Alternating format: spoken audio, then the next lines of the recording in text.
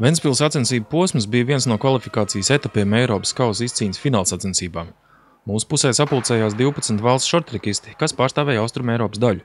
Atsevišķas līdzīgas kvalifikācijas sacensības notiek arī Rietum Eiropā. Eiropā lielākās jauniešu un junioru vecuma šortrikistu finālsacensībām kvalificējās kopumā desmit labākie katrā vecuma grupā.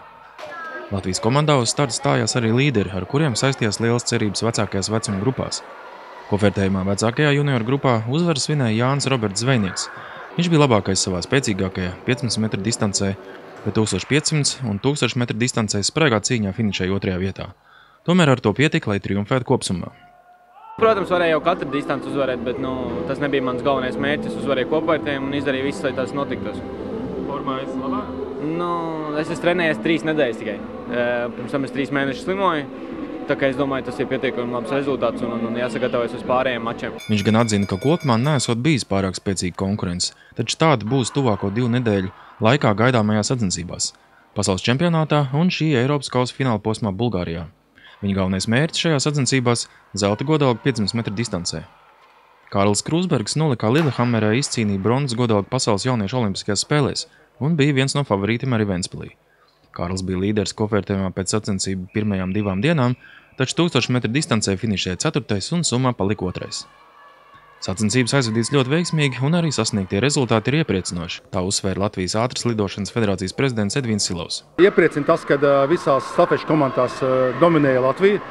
Jā, tas ir ļoti iepriecinoši, un arī uh, ir izvērtušies uh, mums jau zināmie līderi, kā, kā Bērziņš, Krūsbergs, Zvejnieks, ja, kas jau pierādīja, ka viņi spēja uzvarēt šīs sacensības.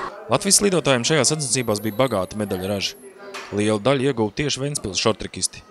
Uzvaras savās vecuma grupās svinēja arī Maksims Solejčuks, Rojs Noviks un Emīlija Gūtmana. Sudrabgodaugas ieguva Betija Dafne Suhaņenkova, Valters Kanbergs, Alīna Usātova, Roberts Krūsbergs, bet bronzas medaļas Elīna Kičīgina, Daniels Keišs un Laura Petroviča. Rīkojot šādu mērogu sacensības jebkurā valstī, tas ir vēl viens plats solis šī sporta veida plašākā attīstībā. Arī Ventspilī, kas jau gadiem ilgi ir šotreka centrs visā Latvijā. Tas ir viens no visstraujāk augošiem popularitātei sporta veidiem. Uh, jau tagad uh, viņš pulcē visos pasaules kausos, pilnībā izpirktas biļetes jau iepriekš pasaules čempionātos. Tas ir viņš, viņš ļoti populārs. Tāpat arī viņš arī Sočomska spēle laikā bija visskatīt, televīzijā visskatītākais sporta veids. Nu, un viennozīmīgi, kad šāda veida sacensības popularizē šo sporta veidu Latvijā, un arī Baltijā, jo mēs, mēs esam arī vadošie Baltijas reģionā. Šoreiz Ventspilī notika reģionālās kvalifikācijas sacensības. Pēc diviem gadiem, martā, Olimpiskā centra Ventspils ledus hallē norisināsies Eiropas kausa fināla posms, pulcējot vecā kontinenta visus spēcīgākos jaunos šotrikistus. Otrs Ančs, Edgars Indriksons, Kurzemes televīzija.